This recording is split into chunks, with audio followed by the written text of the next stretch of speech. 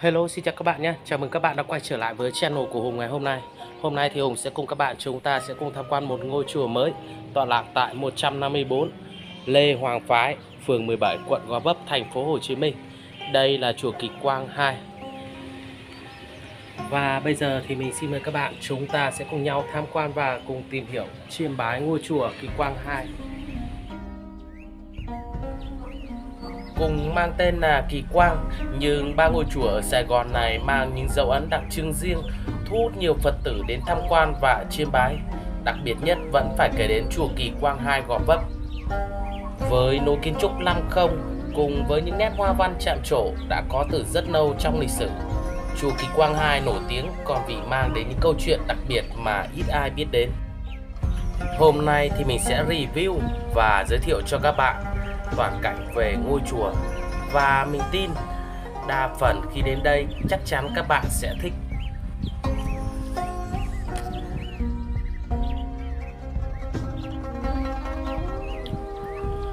Chùa Kỳ Quang 2 hay với cái tên thường gọi mà mình hay nói, ngôi chùa có những tượng Phật màu vàng.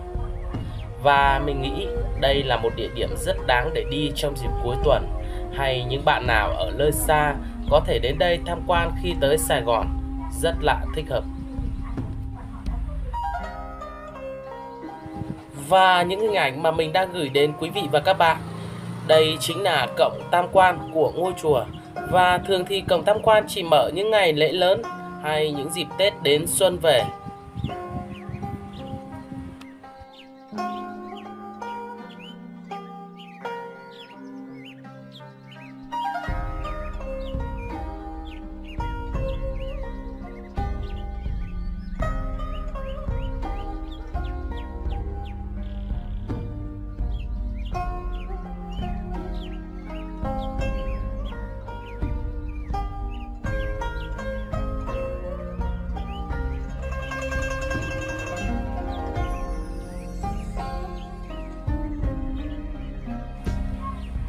Câu chuyện đặc biệt nhất ở chùa Kỳ Quang 2 Gò Vấp đó là ít ai biết tới.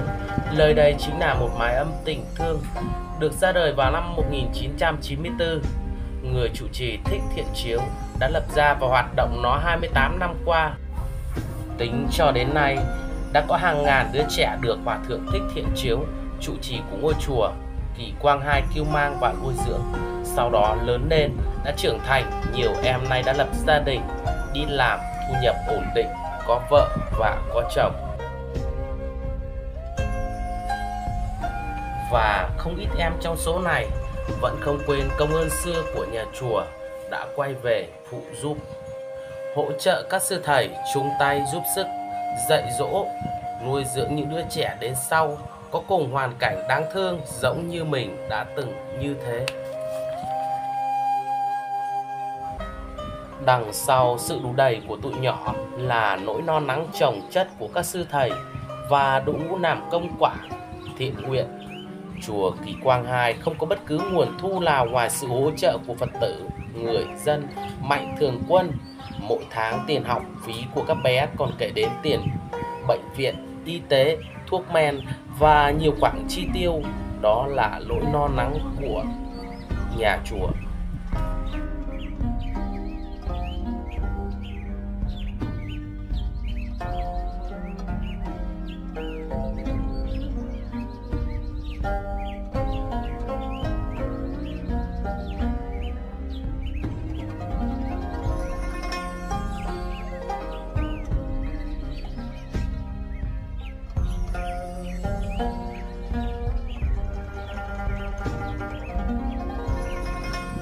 Vốn chỉ là một ngôi chùa nhỏ thuộc quận Gò Vấp, Sài Gòn. Chùa Kỳ Quang 2 được xây dựng lần đầu tiên vào năm 1926 với cái tên là Thanh Châu Tự. Bây giờ thì mình xin mời quý vị sẽ cùng mình chúng ta sẽ cùng quay ngược với dòng thời gian trở về với gần 100 năm về trước khi nơi đây là một vùng đất hoang sơ của thị thành xóm làng còn thưa thớt dân tình đang phải chịu nhiều khó khăn bởi chiến tranh loạn lạc, đói khổ triền miên.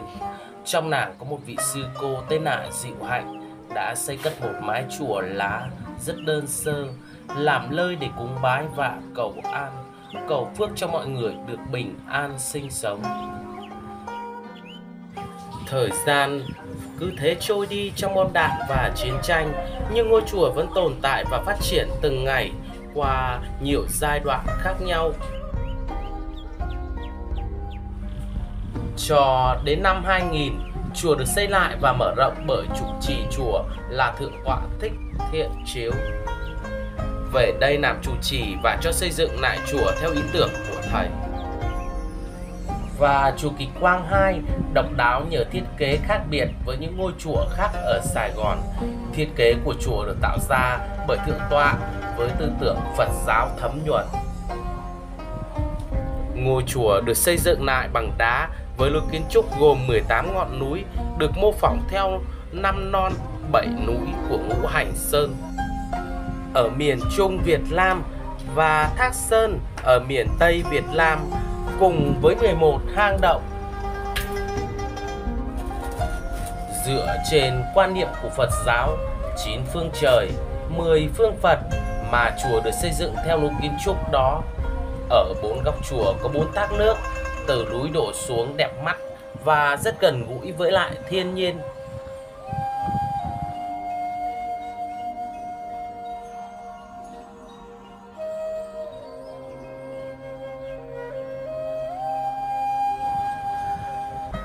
Điều đặc biệt nhất ở ngôi chùa đó là tổng thể kiến trúc có 5 đặc điểm mà không thể nhầm lẫn hoặc có sự pha trộn với bất cứ ngôi chùa nào, đó là năm không. Thứ nhất, ngôi chùa không có cột. Thứ hai là không tường. Thứ ba không nóc. Thứ tư là không đà. Và cuối cùng đó là không cửa.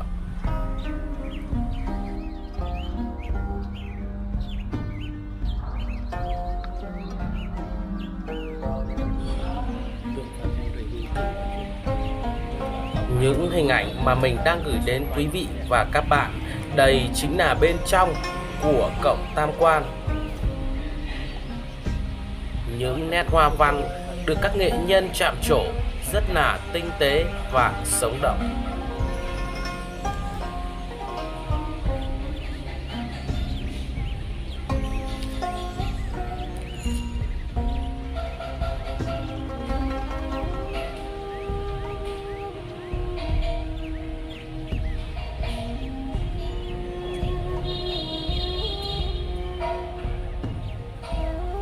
Mình đang đứng trước cổng tam quan mà từ hướng bên trong nhìn ra và các bạn có thể quan sát thấy đường vào cổng tam quan được các nghệ nhân điêu khắc xây dựng theo hình tượng Đức Phật Di Nạc, nhìn vô cùng là đẹp mắt và ấn tượng. Trời ơi.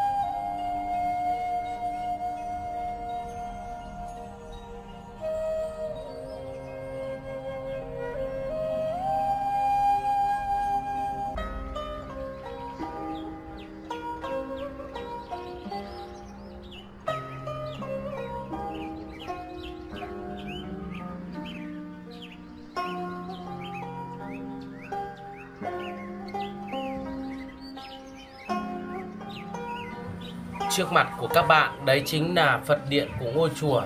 Các bạn có thể quan sát thấy ngôi chùa có một màu vàng đặc trưng và khuôn viên được bày biện rất nhiều các pho tượng Phật với nhiều kích cỡ khác nhau.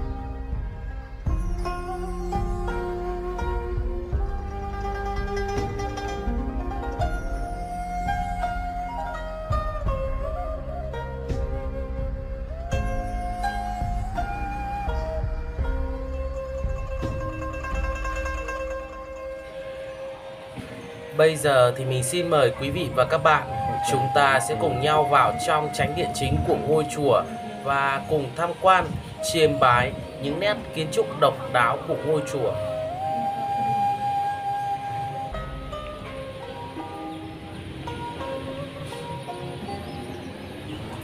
Một lối kiến trúc vô cùng đa dạng và phong phú. Phải rất tỉ mỉ và kỳ công Các nghệ nhân mới cho ra những kiệt tác về Phật giáo bằng đá vô cùng tuyệt diệu và đẹp mắt này.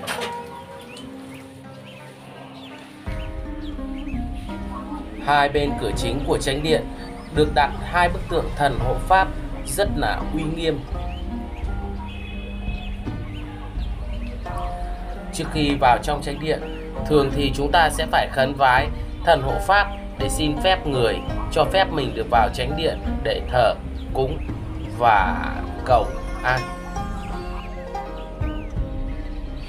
Hai bên hông cửa tránh của tránh điện có hai điện thờ được xây dựng như hang động và đây chính là điện thờ bên tay phải của tránh điện.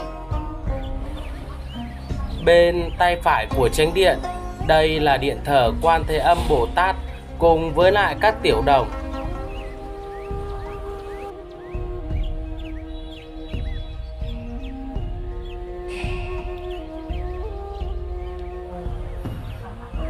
Bên trên của hang động có rất nhiều rơi các bạn ạ.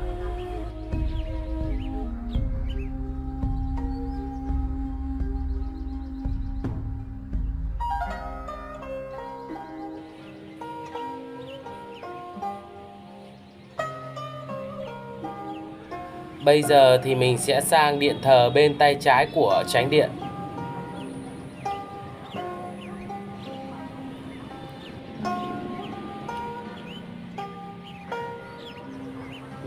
Cửa tránh điện bên tay trái. Đây là điện thờ Đại Thế Chí Bồ Tát cùng với lại các tiểu đồng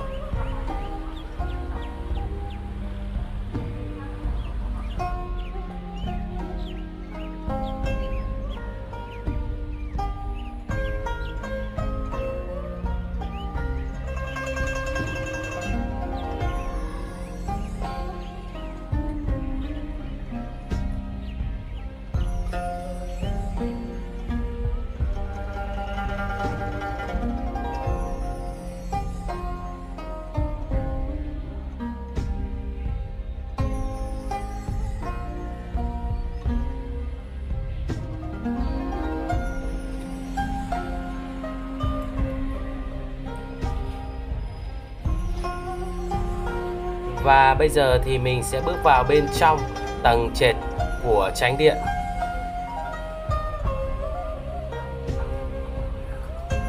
Một hình ảnh vô cùng là đẹp bên trong, có rất nhiều tượng Phật. Nhưng điều quan trọng là các bức tượng được sắp xếp vô cùng hợp lý và rất đẹp mắt.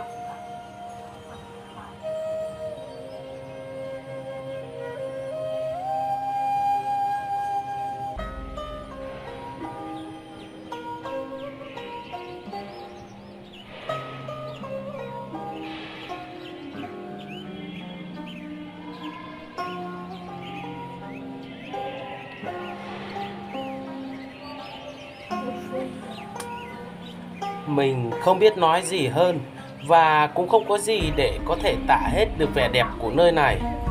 Y như một hoàng cung nguy nga và tráng lệ. Mình có một cảm giác như đang bước vào một cõi Phật, một nơi linh thiêng và huyền bí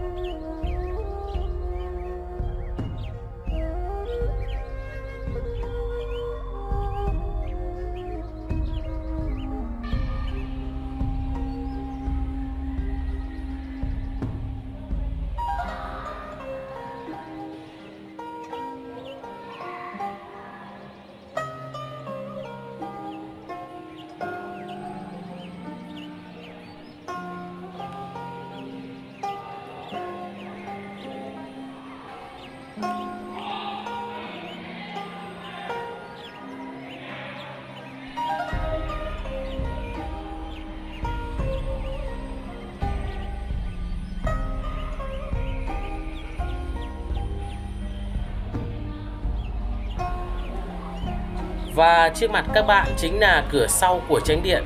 Và hai bên cũng có hai điện thờ y như cửa trước.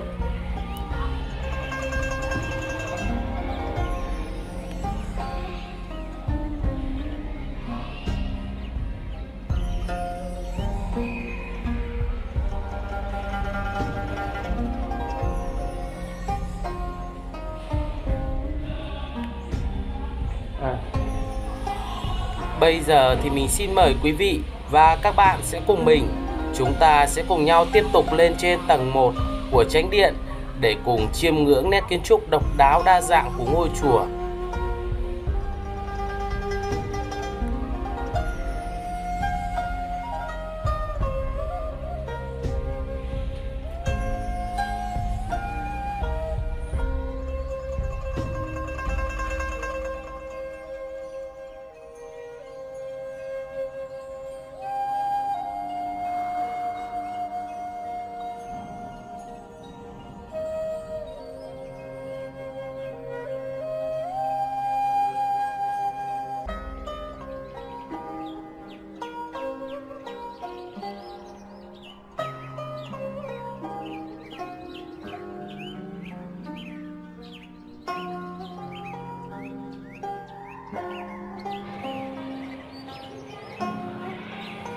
Tầng 1 của chính điện, đây chính là nơi tụng kinh, ngồi thiền của các chư tăng cùng Phật tử.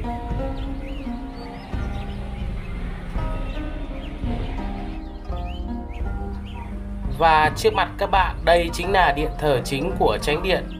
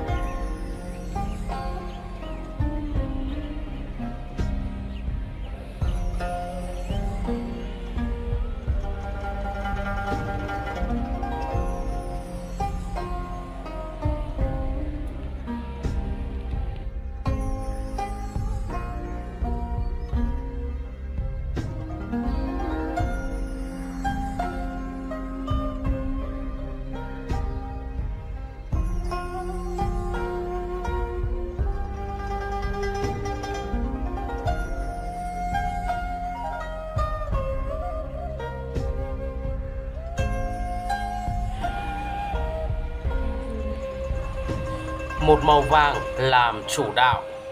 Và trong quan điểm của Phật giáo, màu vàng tượng trưng cho trí tuệ tình thương và thể hiện sự thanh thoát trong sáng cùng quan niệm của Phật giáo. Một kiến trúc sử dụng màu vàng vô cùng phong phú và độc đáo.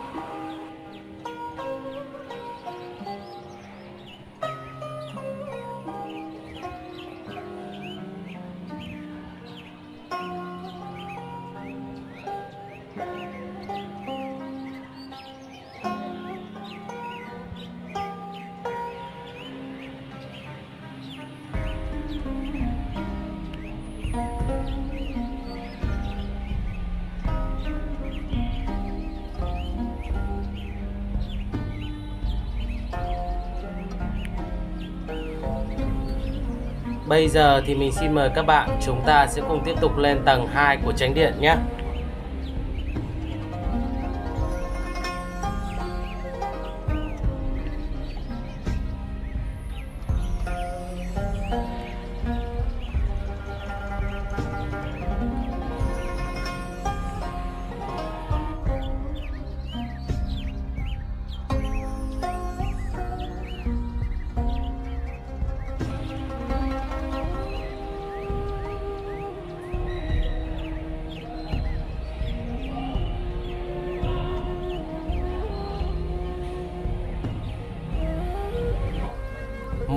Hết sức là đẹp và rất ít khi chúng ta bắt gặp. Đây là hình ảnh ba vị chư tiên đang ngồi đánh cờ với nhau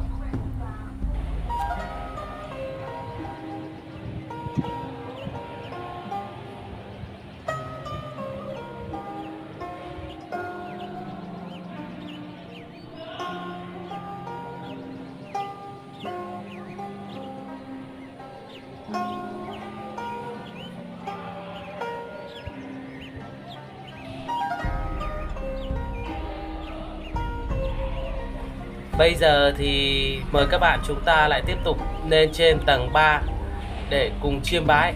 Tiếp.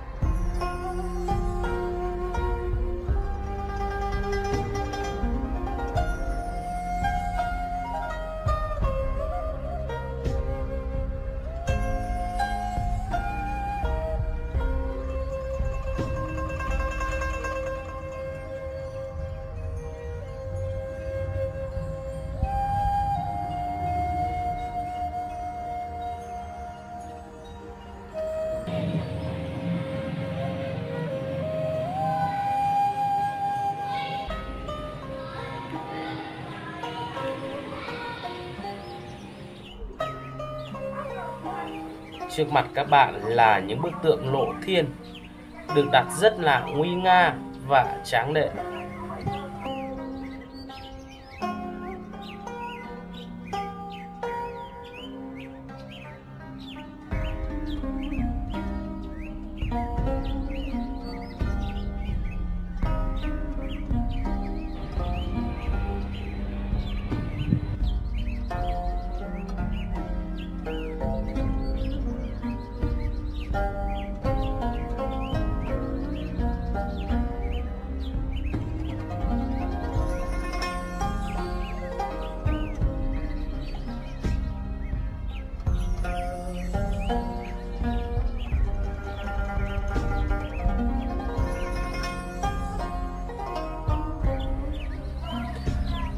Chính là hai bức tượng Phật Thích Ca và tượng Phật A Di Đà được đặt trên cổng tam quan của ngôi chùa. Một hình ảnh vô cùng là đẹp và cũng rất là linh thiêng.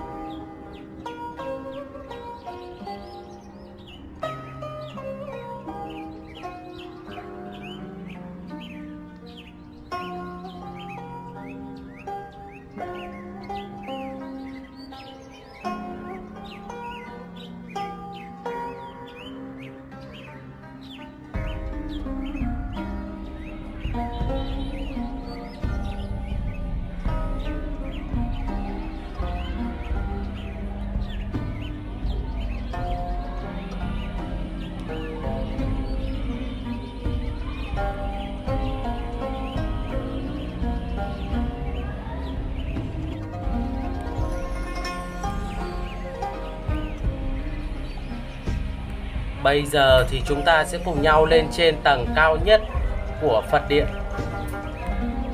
Và mình tin khi lên trên đến tầng này, chúng ta sẽ thấy được toàn bộ vẻ đẹp của ngôi chùa cũng như những cảnh vật xung quanh.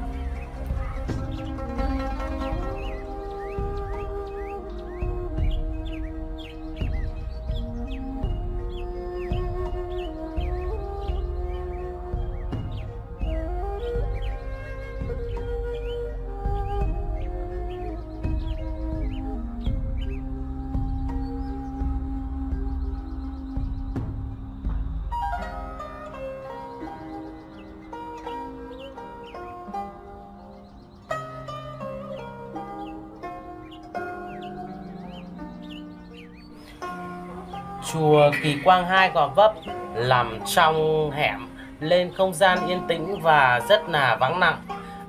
Các bạn có thể lựa chọn đây là một địa điểm du lịch tâm linh đầy thú vị.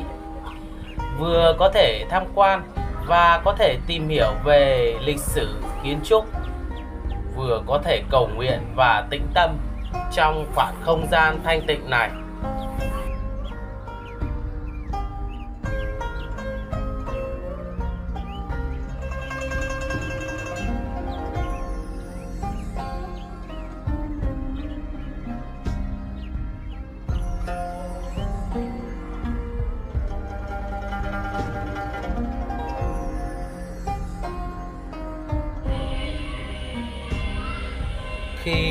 Trên đây, mình thấy tâm hồn mình vô cùng thanh tịnh, một cảm xúc khó tả đến lạ thường. Vẻ đẹp, cộng sự bình yên của nơi này đang làm cho tâm hồn mình nhẹ nhàng đến khác thường. Mọi muộn phiền, no toan của cuộc sống bỗng dưng tan biến, thay vào đó là một cảm giác nhẹ nhàng, không còn ưu phiền, không no toan, không suy nghĩ thay vào đó là mình đang tận hưởng một khoảng không gian mà chỉ có riêng mình ở đây.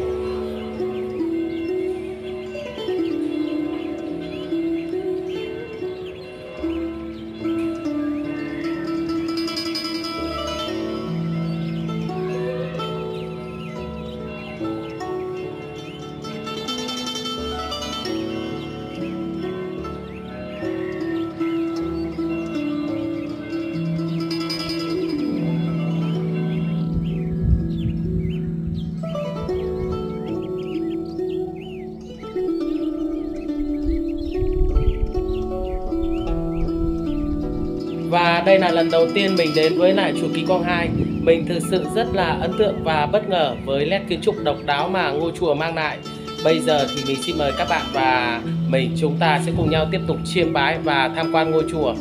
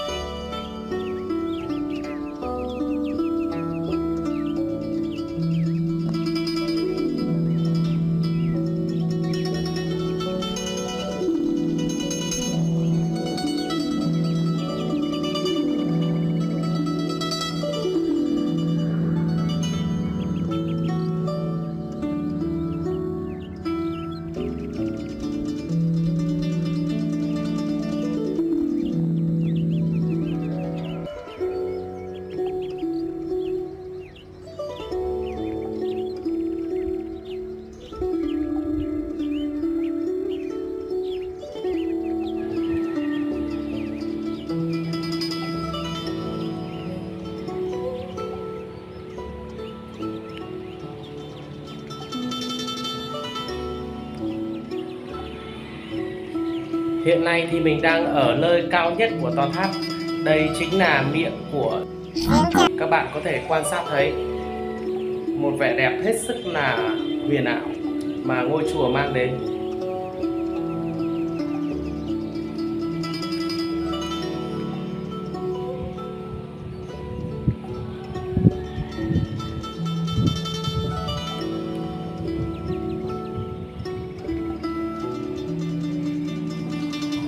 Và đây chính là bên trong của giếng trời Từ đây các bạn có thể nhìn thấy xuống dưới tầng trệt của tránh điện và giếng trời được xây thẳng bàn thờ chính của Phật điện.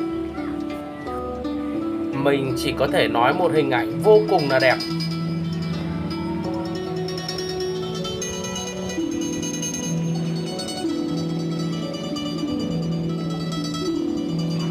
Bây giờ thì mình sẽ xuống phía dưới Mặt trời lúc này cũng đã gần xuống núi rồi các bạn.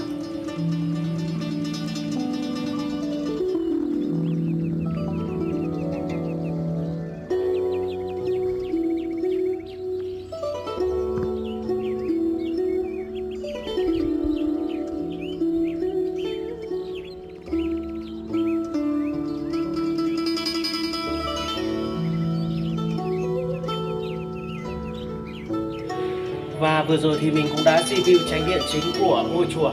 Bây giờ thì mình cũng vừa xuống đến nơi. Tránh điện chính của ngôi chùa thì gồm có 4 tầng, như các bạn cũng đã biết. Bây giờ thì mình xin mời các bạn chúng ta sẽ cùng tham quan trực tiếp toàn cảnh của ngôi chùa ở khuôn viên bên dưới của tránh điện. Bây giờ thì mình xin mời các bạn chúng ta tiếp tục cùng tham quan ha. Mình cũng đã mệt lắm rồi. Hiện nay thì mình đang ở bên trong tầng hầm của tránh điện chính các bạn không gian bên trong của tầng hầm cũng rất là rộng nha các bạn. Bây giờ trời cũng đã xế tối rồi, xế chiều rồi các bạn ạ.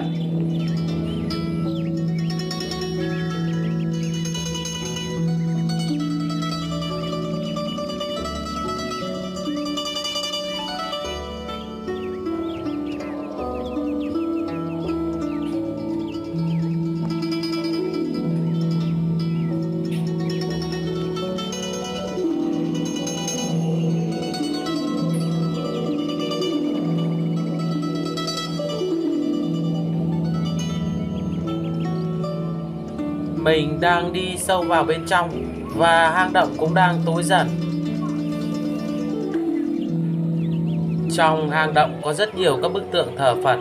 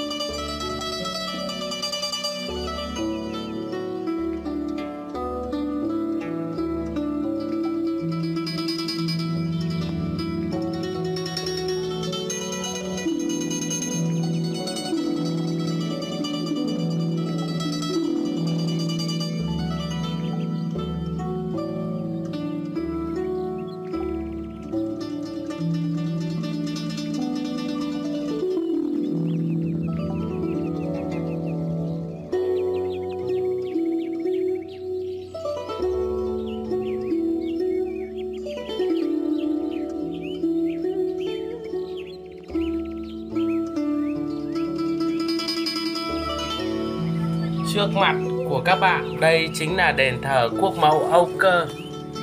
Và theo tín ngưỡng, thờ mẫu Âu Cơ gắn liền với sự tri ân công đức của người mẹ của muôn dân. Đó là mẹ Âu Cơ Người đã đưa đàn con đi khai thiên phá thạch Và mở mang sơn trang bờ cõi.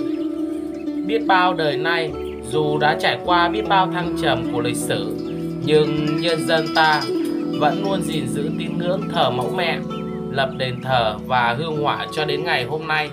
Ở nhiều nơi cũng như các ngôi chùa vẫn luôn giữ gìn những cái phong tục tập quán đó